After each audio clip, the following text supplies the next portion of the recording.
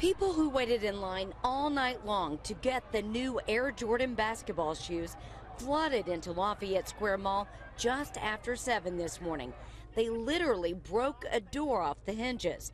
Several people were trampled while others crawled over them to get inside. It was a few people that was on the ground. I jumped over them and kept running. You know, it's Michael Jordan. That's what he do. This was one of his, his most known shoes. 11 Concords exclusive. You see what I'm saying? I saying? ain't been out in 11 years. Shoppers in a hurry to get in line left behind shoes that had been on their feet and some of their clothes. Dozens of Metro police officers responded to malls around the city to help with crowd control.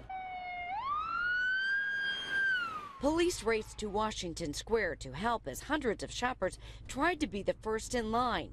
At Castleton Square Mall, police and mall security helped escort people to their cars after they bought their Air Jordans because they were concerned about safety. It was wild. You know, people was up there acting rowdy. A couple fights broke out. At one point, they were throwing uh, things at each other and at other police officers. I got my stuff. Some of the shoppers tell 6 News they welcomed the police presence. I do commend the police officers and the security on the inside because they did do a good job. Officers were called in, obviously, to restore order, and that's exactly what our officers did. The shoes cost about $180 when you factor in the price and everything they had to go through. We asked people if it was really worth it. To make my nieces and nephews happy for Christmas, yes.